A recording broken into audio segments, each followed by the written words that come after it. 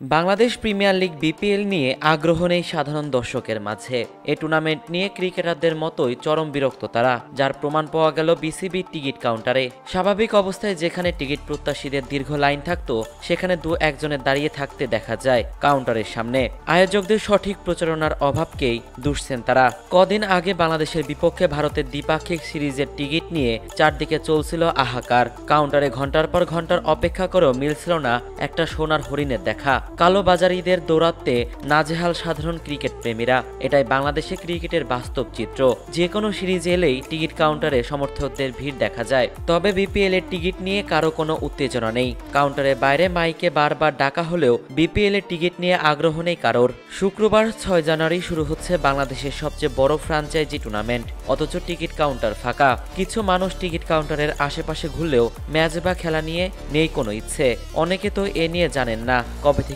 শুরু হচ্ছে এবারের আসর। টিকিট সংগ্রহ করা কয়েকজনের কাছে কারণ জানতে চাইলে তারা যেটা বললেন সেটা অবশ্য নতুন কিছু নয়। এই আসরের অবস্থা তো এখন তাদের অজানা নয়। টিকিট কিনতে আসায় এক সমর্থক বলেন, আবহাওয়ার কারণে মানুষ অনেক কম আসছে আমার মনে হয়। আর এবার বিপিএল এ বিদেশি খেলোয়াড়ের সংখ্যা অনেক কম, তাই হয়তো মানুষ আগ্রহ পাচ্ছে না। এদিকে আরেকজন বলেন, কয়েক মৌসুম আগে গেল এবিডি ভিলিয়ার্স, রয়েলি রুশো ছিল, তবে এখন তারা আসছে না। যে কারণে অন্যান্য ফ্রাঞ্চাইজির তুলনায় আমরা অনেক পিছিয়ে গিয়েছি। আর এ কারণে হয়তো মানুষের আগ্রহটা কমে গেছে।